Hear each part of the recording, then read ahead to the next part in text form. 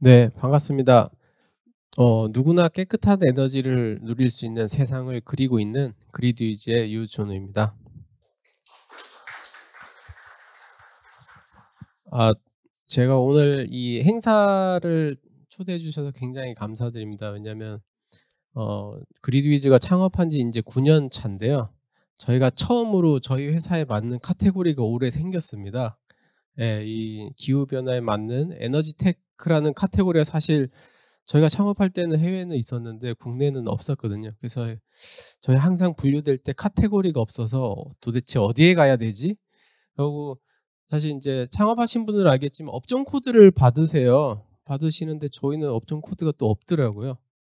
아, 이거 어떻게 해야 되지? 이런 고민을 많이 했는데 이제는 그런 고민을 안 해도 될 것 같고 그리고 아까 먼저 말씀해 주신 것처럼 굉장히 이제 어려운 환경이고 척박한 환경입니다. 근데 이제 혼자가 아닌 것 같은 느낌이 들어서 오늘 또 즐거운 마음으로 무거운 주지만 또 즐겁게 발표하겠습니다.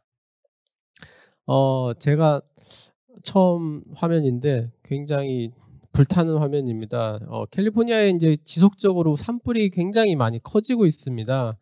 어, 저도 출장을 갔다가 집에 돌아왔는데 이 슈트케이스를 열었는데 막 탄 냄새가 확 날 정도로 굉장히 심각한 상황까지 가고 있고 어, 특히나 이 캘리포니아에는 이 화재 때문에 지금 캘리포니아 최대 유틸리티인 PG&E가 지금 파산하냐 마느냐 이런 기로에 올 정도로 굉장히 큰 위기가 계속되고 있고요. 또 얼마 전이죠. 저희가 텍사스에 지금 한파로 인해서 정전이 났었습니다. 정전이 나고 이게 가정에 전기가 공급되는 건 물론이고 공장이나 이런 산업 시설에도 전기가 공급이 끊기면서 굉장히 큰 여파를 미치고 있었는데요. 사실 이게 미국에 있는 일이냐? 그렇지 않은 거죠. 지금 작년 저희 사진인데요. 가장 역대 가장 근 긴 이제 장마가 오면서 굉장히 많은 어 일들이 있었습니다. 특히나 저희가 이걸 보면 만들면서 자료를 만들면서도 또 걱정된 게 아 올해는 도대체 어떻게 될까라는 걱정을 매년 매년 해야 되는 상황이 돼버렸습니다. 근데 이런 일들이 왜 일어날까? 사실 다양한 이유가 있겠습니다. 아까 뭐 선형 경제도 말씀 주셨고 다양한 얘기를 주셨지만 저희가 조금 포커싱하는 부분은 이 기후 위기의 영향 중에 지금 보시면은 분야별 배출량 비중 중에 에너지가 차지하는 섹터가 86.9% 우리 그 중에도 전기랑 열을 생산하는 섹터에서 생기는 게 한 42.6% 그래서 굉장히 많은 부분에서 어, 이 우리가 편하게 쓰고 있는 지금 에어컨을 틀고 지금 유튜브를 보시는 이런 데 쓰이는 모든 에너지를 만들기 위해서 사실은 저희가 이산 어, CO2를 굉장히 많이 배출을 하고 있는 거죠. 근데 이거를 안 쓸 수는 없는 거죠. 안 쓸 수가 없다 보니 이걸 좀 더 깨끗한 에너지로 전환해야겠다라는 움직임이 전 세계적으로 일고 있었습니다. 그래서 어, 저탄소에 그다음에 친환경 에너지를 그리고 또 이제 안전하고 지속 가능하게 쓸 수 있어야 됩니다. 어, 그래서 저희가 조금 더 집중한 거는 기존에는 대형 발전소에서 아주 커다란 송배전 선로를 통해서 전기가 안정적으로 공급이 됐다라고 하면 이제는 전기가 필요한 장소에서 전기가 필요한 양만큼 아주 깨끗하게 만들어서 아주 똑똑하게 사용될 수 있는 어, 환경이 되었다. 그러지 않으면 저희는 이제 큰일 났다라는 생각을 가지고 저희가 사업을 하고 있습니다. 조금 더 보시면은 아까 말씀드린 것처럼 어, 우리도 그렇고 모든 나라들이 기존에 가지고 있던 인프라 시스템은 중앙 집중형 발전 시스템입니다. 그래서 굉장히 잘 만들어진 발전소가 있고 효율도 굉장히 높아졌습니다. 하지만 그래도 굉장히 많은 양의 CO2를 배출할 수밖에 없고요. 또 이 만들어진 에너지를 전달하기 위해서는 어, 엄청난 양의 송배전 설비들이 들어갈 수밖에 없습니다. 그런데 이제는 더 이상 그 송배전 선로 자체도 건설하는 것조차도 사실 쉽지 않은 상황입니다. 그리고 소비는 계속 늘고 있습니다. 지금 보시면 아시겠지만 전기를 쓰는 디바이스들이 예전에 비해서 굉장히 많아지셨을 거예요. 저도 보면 굉장히 많이 쓰고 있더라고요. 그리고 전기차도 쓰게 되니까 과연 이런 생산과 소비가 일방향인데 이게 편했습니다. 편하고 심플하죠. 근데 더 이상 이렇게 써서는 안 되는 상황이 저희가 지금 직면하고 있는 상황입니다. 그래서 저희가 포커싱하는 거는 분산 자원이라는 개념인데요.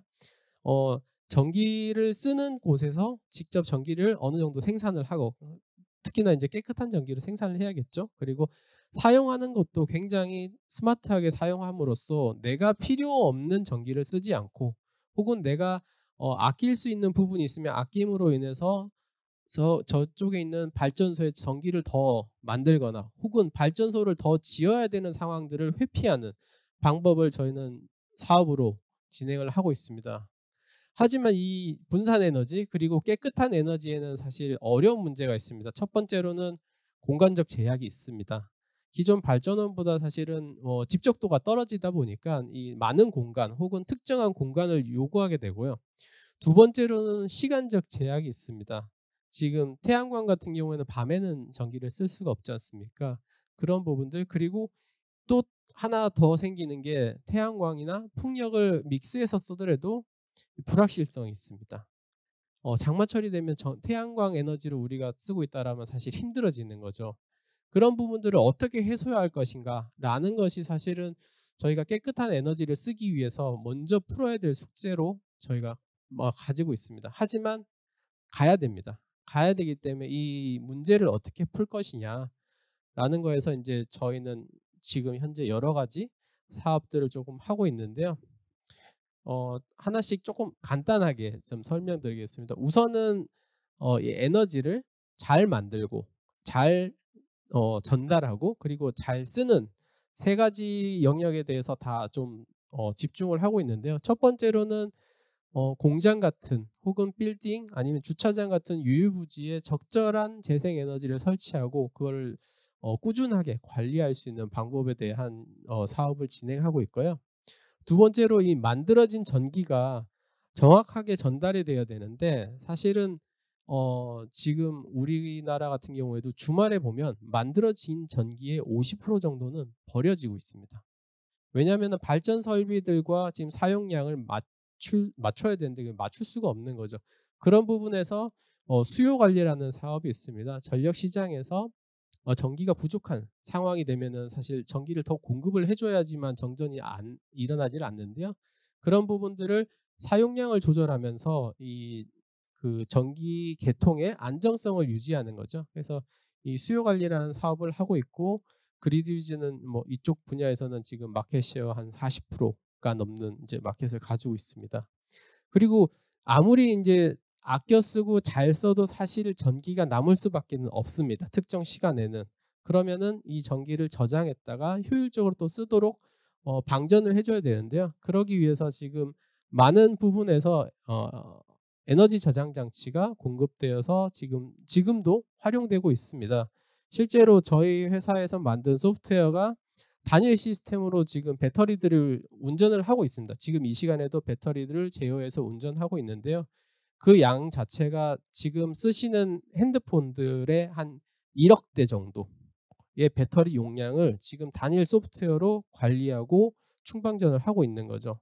근데 저희가 이 사업을 좀 공격적으로 계속 추진할 때만 해도 글로벌 1등의 용량이었는데 지금은 아무래도 배터리 이 분야가 약간은 위축이 돼 있어서 지금 조금 부족한 부분은 있습니다. 그리고 마지막으로 있는 게 사실 에너지를 생산하는 것도 클린해야 되지만 어, 기후 쪽에서 보면 이 운송 부문에 대한 포커싱도 있습니다. 그래서 전기차가 있고요. 전기차에 대해서도 저희가 이 차를 두 가지 focusing이 있는데 첫 번째는 안전하게 충전해야 된다라는 관점이 있습니다. 전기차 같은 경우에는 굉장히 높은 전압으로 전기를 공급하게 되고 어, 저도 전기차를 타고 있지만 제가 집에서 쓰는 전기 용량의 30배 이상의 전기 용량을 차가 가지고 있거든요.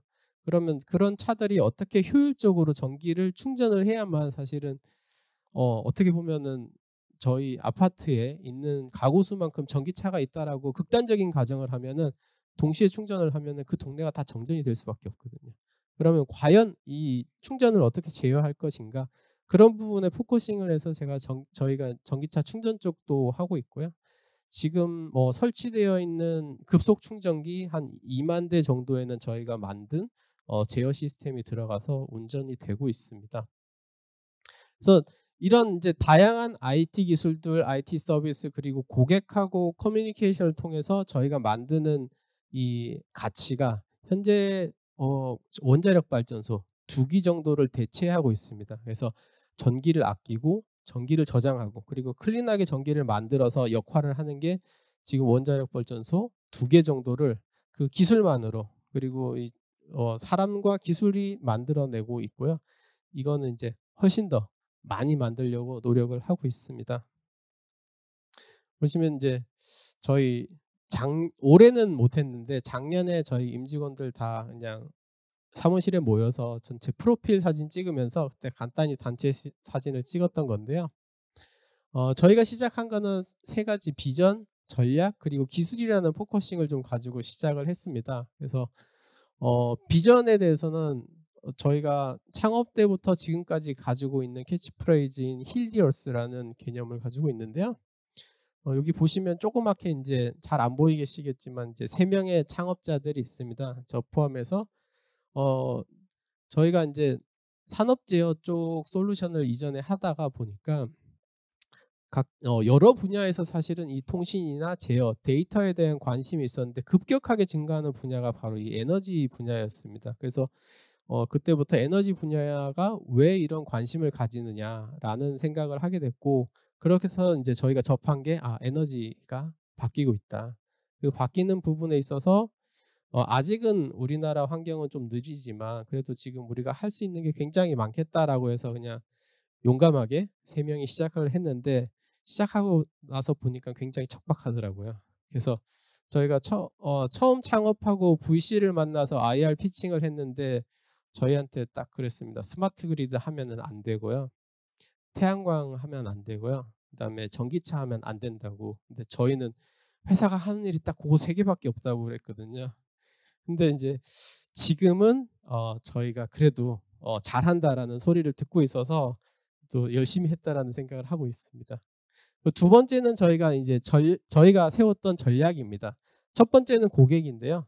사실 좋은 기술도 좋겠지만 사실 어, 실제적인 임팩트를 주지 못하면 그거는 기술에 지나지 않는다고 생각합니다. 그래서 저희는 어, 가정에서 쓰는 전기도 아껴야겠지만 좀 더 임팩트를 강하게 주기 위해서는 산업체에 좀 집중을 했습니다. 그래서 현재 하고 있는 서비스들은 B2B 에 막 포커싱해서 진행을 하고 있고요. 지금은 전기차로 넘어오면서 이제 B2B와 B2C를 좀 믹스해서 비즈니스를 하고 있습니다.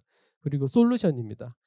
저희가 솔루션을 정말 어, 진정성을 가지고 만든다면 고객들도 그 진정성에 대해서 인, 정을 해주실 거다라고는 믿음을 가지고 저희가 고객을 움직일 수 있는 솔루션을 만들고 있고 마지막으로 차별화 포인트로는 어, 저희가 다른 건 못해도 공부하는 건 잘할 자신이 있었거든요. 창업자 3명이. 그래서 열심히 공부해서 누구보다 시장에 빨리 반응할 수 있는 그런 변화를 가져오자라는 게 저희 이제 차별화 포인트였습니다. 그래서 만든 기술이 이제 아까 말씀드렸던 분산 자원들. 그 분산 자원들에서 데이터를 어떻게 정확하고 빠르게 가져올 수 있느냐에 좀 집착을 했습니다. 그래서 저희가 어, 설치한 모든 에너지 저장 장치라든지 이런 시스템에서 지금 정, 어, 데이터들이 수, 실시간으로 올라오고 있고요. 그다음에 아까 말씀드린 수요 관리라는 시스템을 통해서 실시간으로 우리나라 산업체의 20, 30%에 달하는 산업체들이 전기를 어떻게 쓰고 계신지를 실시간으로 알고 있습니다. 그리고 그런 데이터를 통해서 저희가 분석을 하고 예측을 함으로써 과연 그러면 이런 솔루션에서 어떤 시장이 필요하고 어떤 기능이 필요할지 그리고 아리백을 한다라고 하면 저희는 조금 다르게 접근하고 있는데 아리백이 내가 쓰는 양과 내가 사오거나 발전한 태양광 양하고 일치시키는 게 아니고 저희는 시간대별로 일치시키는 것을 목표를 하고 있습니다. 그렇기 때문에 저희는 데이터에 집착을 하고 분석을 하고 예측을 하고 있습니다. 그걸 통해서 지금까지는 저희가 9년 어, 정도 됐는데요. 한 800개의 고객사가 있습니다. 근데 800세의 고객사보다 더 가치 있는 거는 아까 말씀드린 것처럼 원전 두 개 필요 없이 저희가 그 역할을 하고 있고요. 그다음에 이 800개가 넘는 고객사들이 지금까지 저희와 처음 만나서 계약을 한 이후에는 97% 어, 이상 지금까지도 계속 같이 하고 있습니다. 그 정도로 사실 믿어주고 계시고요. 어, 작년에 저희가 시리즈 C를 하면서 투자 유치를 했고 그러면서 이제 인수도 진행을 했고요. 13년도에 이제 세 명이서 매출 3억을 하고 이제 기뻐했었는데 지금 올해는 한 천억 정도 예상을 하고 있습니다. 그래서 보시면은 저희가 저쪽 끝에 있는 게 이제 저희가 처음 만들었던 폼보드에다가 인쇄해서 간판을 만들었고요. 어, 오피스를 얻고 오피스를 얻고 보니까 가구가 없어가지고 이, 이 파라솔 하나 사서 예, 가구 대신 한 달 정도 썼습니다. 근데 지금도 잘 쓰고 있고요. 어, 지금 이제 저희 사무실 1층에 있는 공간인데요. 이제는 이제 100명 이상의 그루라고 하고 있는데 저희 이제 임직원들을 통칭해서 부르는 말이 이제 그루입니다. 그리드 위즈 크루이기도 하고 어, 성장을 하자라는 의미도 있고 또 마지막으로는 우리 모두가 나무 한 그루 한 그루가 돼서 숲이 되자라는 생각으로 저희가 그루라는 이름을 어, 저희 회사 내부 사내에서 이제 공모를 해서 만들었고요. 그래서 어, 우리가 이 같이 가자라고 해서 어, 최근에 만든 말 중에 저희가 굉장히 만족하고 있는 말인데요. Clean Energy for Everyone, Everywhere, at Every Moment거든요. 그러니까 어, 어떤 곳에서도 이 원한다라면 이 clean 에너지를 내가 만들 수 있고 만든 거를 또 deliver 할 수 있고 deliver 된 거를 쓸 수 있도록 하는 기술을 만드는 그리고 그 기술을 위해서 저희는 에너지 데이터를 모으고 그 데이터를 다시 연결해서 또 새로운 가치로 연결하는 그런 일들을 열심히 하고 있습니다. 그래서 마지막으로 어, 앞서서는 다 멋진 동영상을 보여주셨는데 저희도 동영상이 뭐 사업 소개하는 동영상 이런 건 있는데 조회수가 별로 안, 많지 않더라고요. 근데 저희 회사 동영상 중에 제일 조회수가 많은 게 제주도 워크샵 갔을 때 동영상이거든요. 유튜브 가시면 보실 수 있는데요. 보시면 이제 아 제주도 가서 사진 찍었구나라고 하실 수 있지만 사실 어 저희가 제주도지만 보시면은 풍력 발전기가 있지 않습니까? 풍력 발전기가 있고 이 뒤쪽에 보시면 조그만 건물이 있습니다. 거기가 이제 풍력 발전소 전체를 관제하는 관제 센터인데요. 그 옆에 보시면 배터리가 건물 하나 정도의 규모로 설치되어 있습니다. 그래서 어, 여기 제주도에 있는 풍력 발전에서 생산된 깨끗한 전기를 다시 배터리에 모아서 실제 필요한 시간에 조금 더 효율적으로 쓸 수 있는 기술들이 지금 만들어서 설치되고 어, 저희 직원들이 지금도 계속 관리하고 운영을 하면서 안전하게 운영이 되고 있습니다. 근데 코로나 때문에 작년에도 못 갔고 올해도 못 가서 호시탐탐 제주도 가기만을 기대하고 있는데요. 한 번 더 가서 어, 몇 년 동안 잘 운영돼서 과연 어떤 결과를 만들어내고 있는지를 보고 싶고 또 지금 저희가 지, 어, 이전에는 전기를 깨끗하게 만들어서 잘 저장을 했다라고 하면 제주도에 굉장히 스마트한 충전기들을 지금 설치하고 시작, 설치하기 시작했습니다. 그래서 충전기가 단순히 전기를 충전하는 게 아니고 충전하는 과정을 굉장히 스마트하게 해서 그리드에도 도움을 줄 수가 있고 그걸 그걸 통해서 신재생 에너지가 그리드에 더 들어올 수 있도록 하는 기술을 어, 이미 제주도에다가 시작을 했고 앞으로 이제 그걸 더 크게 나갈 거기 때문에 조금 더 의미 있는 제주도 워크샵이 될 것 같아서 어, 이 코로나가 빨리 끝나기만을 기대하고 있습니다. 하여튼 짧은 시간이지만 재미없는 얘기 재밌게 들어주셔서 감사합니다. 고맙습니다.